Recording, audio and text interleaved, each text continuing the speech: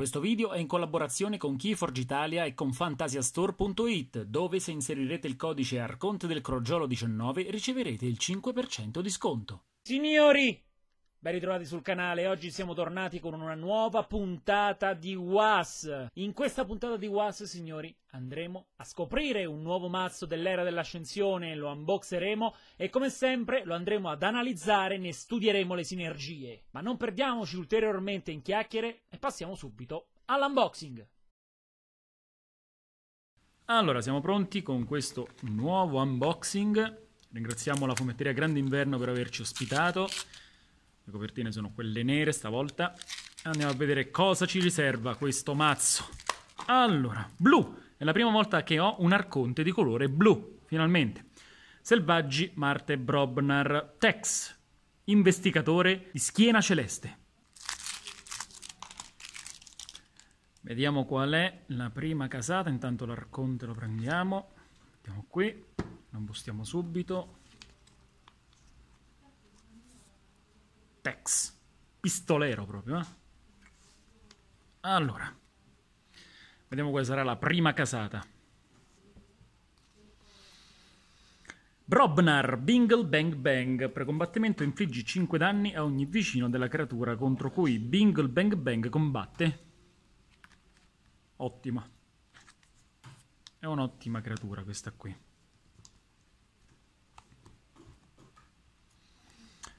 Brammo, gioco, infliggi due danni a ogni creatura nemica su un fianco.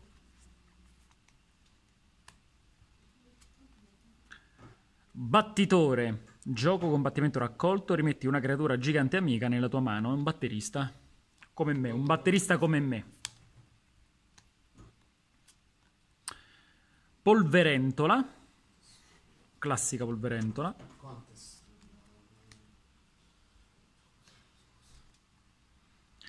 Denaro insanguinato. Colloca due ambre dalla riserva comune su una creatura nemica. Per capire che cos'era la riserva comune ci ho dovuto impiegare praticamente 16 partite. Poi ho capito che cos'è la riserva comune. Bruciare le scorte. Il tuo avversario possiede più 7 ambre, ne perde 4. Sciamana scintilla. Gioco infligge 2 danni a una creatura. È un mazzo che ha tante carte nuove che io non ho mai visto ed è per questo che le vado a leggere. Piccola peste, a illusione, le creature devono combattere quando sono usate se possibile. Ah! Eh! Un controllo avversario niente male questo. Bomba stridente. La sacrifichiamo, il nostro avversario perde due ambre. Forziere di guerra. La prima volta che vedo un forziere di guerra, azione, ottieni un'ambra per ogni creatura nemica distrutta in combattimento in questo turno. Buona. Ottima. Cuore di Fenice. Questa creatura ottiene distrutto, rimetti questa creatura nella mano del suo proprietario e infliggi 3 danni a ogni creatura in gioco. Ultima carta di casata Brobnar. Gigante Scaglierocce. Bellissimo. Me l'hanno giocato una volta contro ed è stato davvero dura toglierlo. Durante il tuo turno, ogni volta che scarti una carta Brobnar dalla tua mano, puoi infliggere 4 danni a una creatura. È stata dura perché non avevo creature con il quale contrastarlo. Beh, una bella, una bella cosa, eh, una bella cosa, casa da Brobnar. Sempre un piacere avere un Brobnar, un mazzo Brobnar a disposizione. Vediamo qual è la prossima casata. Marziani. Agente Yu Man Ho che fa illusione raccolto scegli una creatura non Marte amica e una creatura non Marte nemica. Stordisci le creature scelte. È buono. Nuova anche questa. Proliferatore Glixl. Raccolto se il proliferatore Glix si trova su un fianco archivia una carta Marte dalla tua pila degli scarti. Buona. Ottima. Perfetta Se XXLI aggiusta tutto, a illusione ogni creatura, ogni altra creatura marziana riceve più un'armatura. Beh, buono. Ah, non male. Primo i marziani, ripristina e usa una creatura Marte amica, ottimo. Verbe mentale, una creatura che credo che ognuno di noi almeno una volta ha fronteggiato. Cannone madre, classico. Squadriglia Sky Booster, quando raccogliamo ce la rimettiamo in mano. Due squadriglia.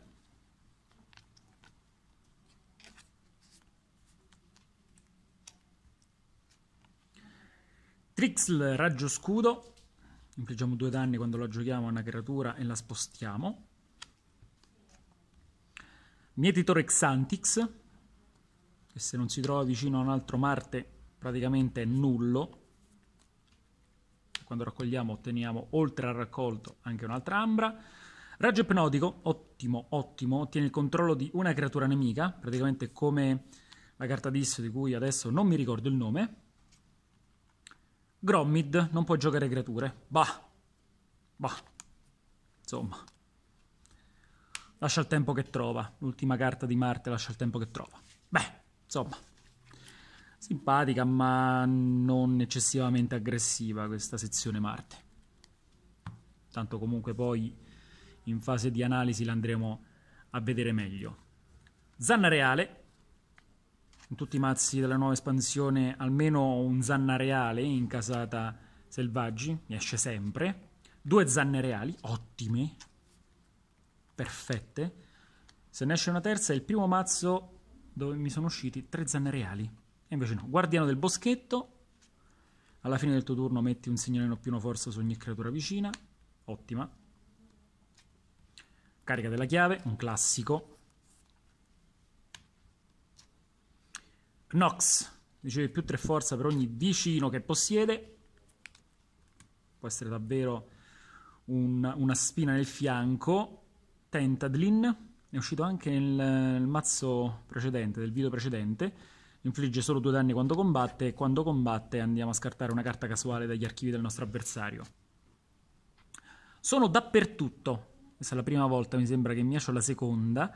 Quando la giochiamo ci dà un'ambra, infliggiamo due danni a ogni creatura nemica su un fianco e un danno a ogni creatura nemica che non si trovi su un fianco. Vabbè. Due sono dappertutto, wow. Davvero, davvero una grande cosa. Magari ne esce per tre. Banco di nebbia. Il tuo avversario non può utilizzare le creature per, per combattere. un classico. Le ultime tre. Rampicanti afferranti, rimetti fino a tre artefatti nella mano dei loro proprietari. Imitazione, secondo mazzo che possiedo dove esce imitazione. E come ultima carta di Casa Selvaggi, Via del Porcospino. Questa creatura ottiene pericolo 3. Mi sembra che sia di una vecchia espansione. Bah. E questo è il mazzo, signori. Questo è il mazzo non mi, non mi, ispira più di tanto, sicuramente non lo porterei in un torneo, sicuramente non lo porterei in un torneo. Andiamo in sezione analisi per vedere come si comporta. Allora, andiamo a vedere come si presenta questo mazzo in sezione analisi. Le casate sono, voglio ripeterlo, Brobnar, Marte e Selvaggi. La tipologia di carte sono 10 azioni, 3 artefatti, 21 creature e 2 migliorie. Quindi ci troviamo al di sotto della media in azione quasi nella media in artefatto, sopra la media in creature e sopra la media anche in migliorie. Per quanto riguarda invece la rarità delle carte, abbiamo 22 comuni, 3 rare, 11 non comuni e come sempre 0 speciali.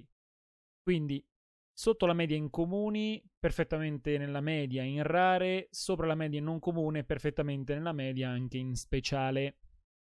Ora andiamo a vedere l'Ember bonus 6, molto poco. È un mazzo che genera davvero poca ambra stampata, quindi non è uno dei migliori mazzi che io abbia mai sbustato. Ecco.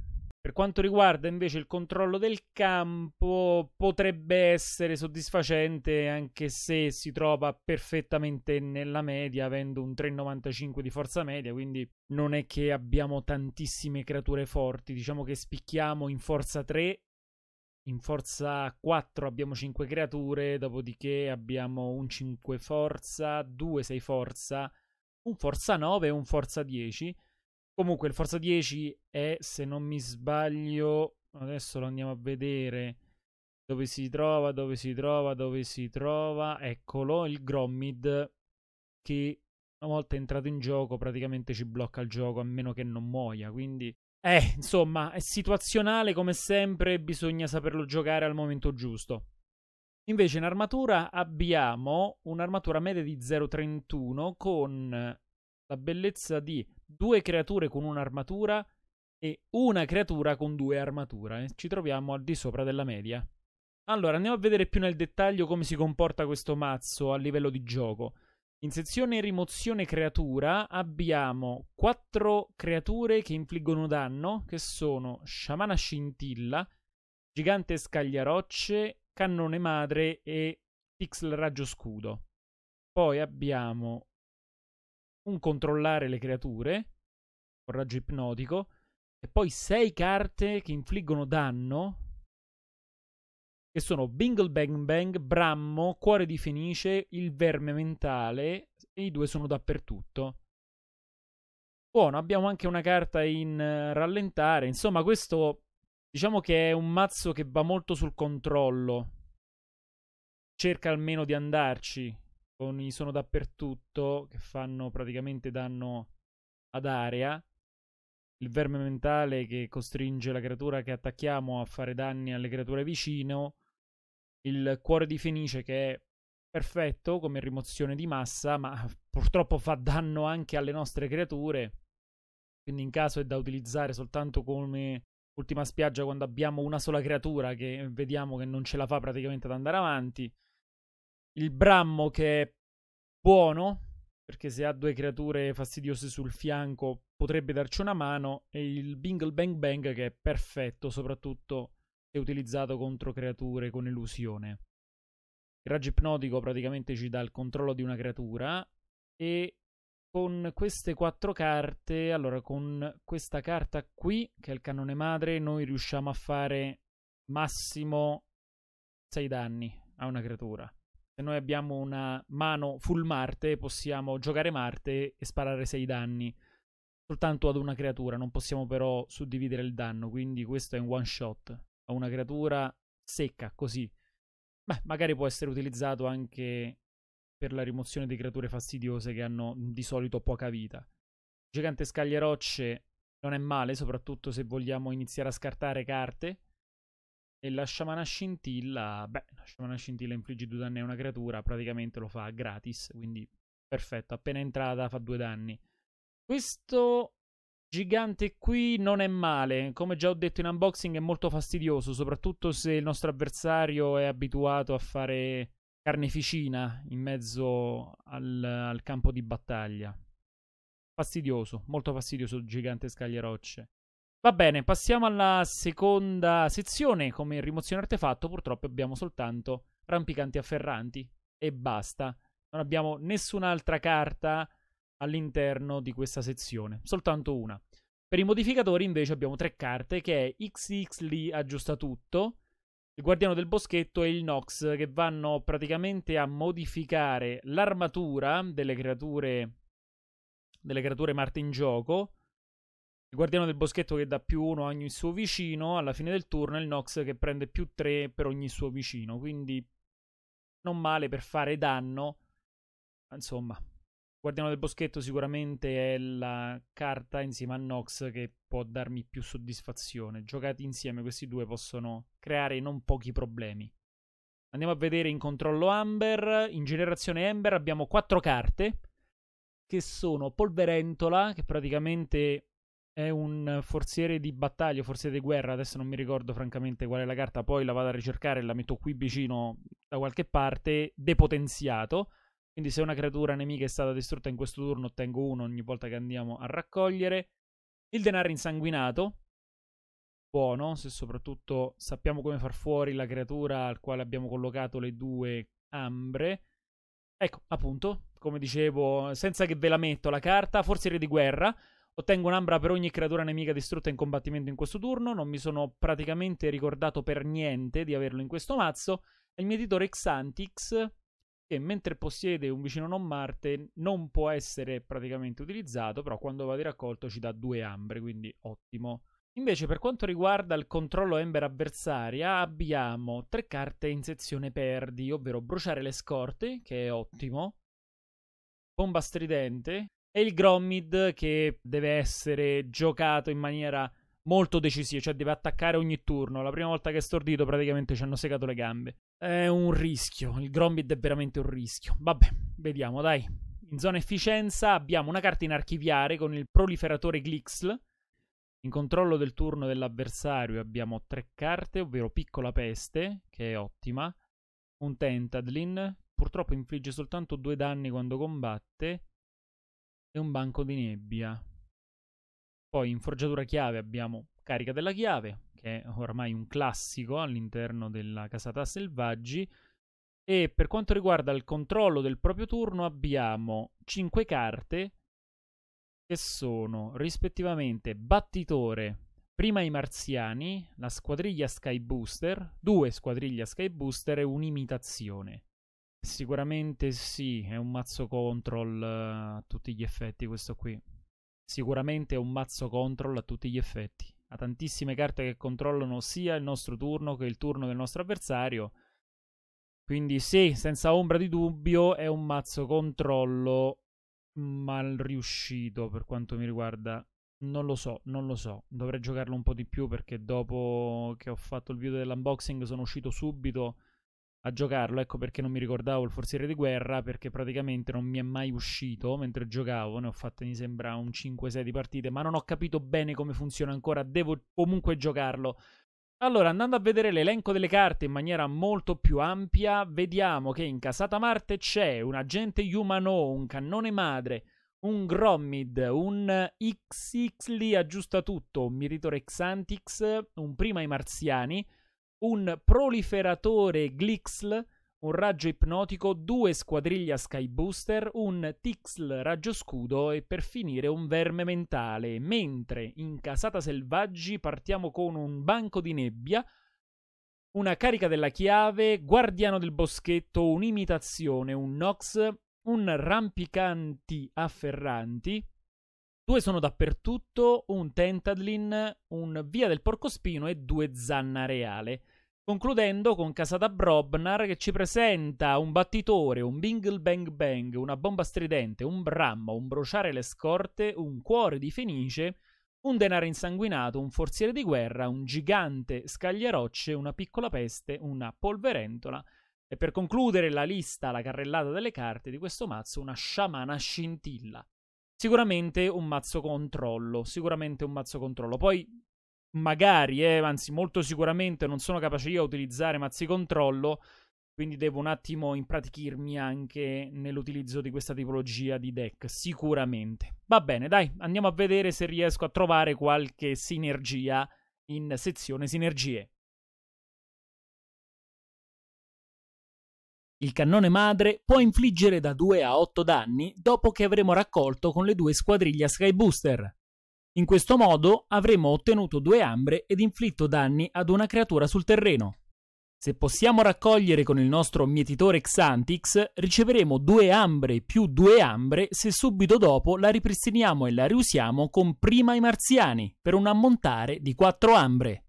Con un Grommid in campo ed un prima i marziani in mano, potremo combattere con Grommid per distruggere una creatura nemica e far perdere al nostro avversario un'ambra. Giocando al turno successivo prima i marziani, potremo ripristinare Grommid e combattere nuovamente con esso per distruggere una seconda creatura nemica e liberarci la giocata se il Grommid muore. Se non dovesse morire, il nostro avversario perderebbe una seconda ambra. Bomba stridente può essere utilizzata per negare la forgia al nostro avversario se usata al momento giusto.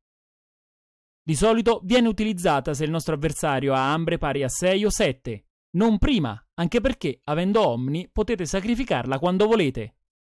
Per massimizzare l'effetto di Bingle Bang Bang, utilizzatelo contro creature che hanno illusione. In questo modo avrete inflitto comunque 5 danni ai vicini della creatura attaccata senza subire danni. Con la combinazione Bramo più Battitore potremo infliggere non più 2 ma ben 4 danni ad ogni creatura nemica su un fianco. Se avremo una mano piena di Brobnar e il forziere di guerra in gioco, con il gigante scagliarocce potremmo scartare tutte le carte Brobnar che vogliamo per infliggere 4 danni ad una creatura a scelta per ogni carta scartata. Se avremo distrutto qualche creatura nemica, con il forziere potremo ottenere un ammontare di ambre pari al numero di creature nemiche distrutte. Equipaggiando Cuore di Fenice ad una creatura qualsiasi Brobnar pronta a combattere e preferibilmente danneggiata, potremmo infliggere danni da combattimento più 3 danni da miglioria se la vostra creatura muore. Così facendo, potrete farvi tornare in mano la creatura distrutta che sarà pronta per essere rigiocata. Azionando poi il forziere di guerra, potrete ottenere ambre a seconda delle creature nemiche morte dopo questa combinazione di carte. Signori, come sempre, vi ringrazio per avermi fatto compagnia in questa seconda puntata di WAS. Noi ci vediamo nel prossimo video. Ciao!